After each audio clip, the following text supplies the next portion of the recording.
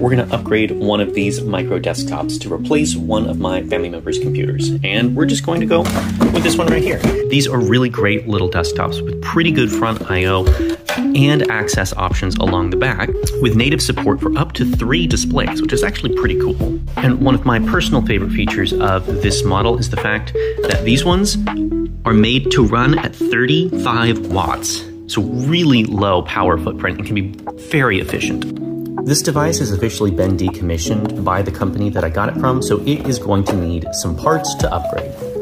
To open this up along the back, we're going to slide this latch to the left to the unlock position and slide the front assembly forward. And then we can lift that straight off and this is the interior of our device.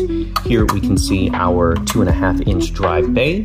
If we look right in here, we can see there's an M.2 slot in there for an NVMe drive. We're not going to be using that on this build, but it is a good upgrade path for later on. We have our CPU heatsink and we have our fan, and directly underneath there we have our RAM slots. Just look at that dust right there. This device has four gigabytes of RAM in it, and we are going to be replacing that with this eight gigabyte stick which we will line up the notches and slot into place with the click. Then we can fit our fan cover back into place. We have to line up the notches just right so that it hinges up and down. Now that that is into place, we're going to put our SSD bay in. We're going to flip this up right here.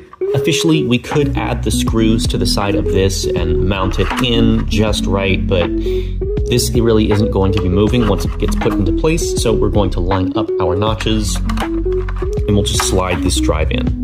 And then put this pin down.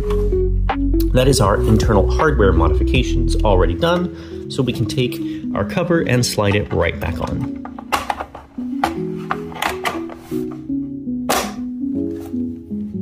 And then it is time for our OS, and we are going to be using Chrome Flex OS. Plug in our power, mouse and keyboard. Then it's time to turn this device on and spam the F9 key. Then we will select our one-time boot disk.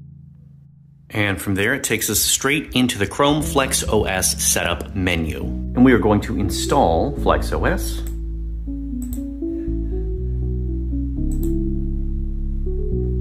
And then you can set this up just like you would any other Chromebook. Now this computer is officially ready and I can hand this off for it to get to work.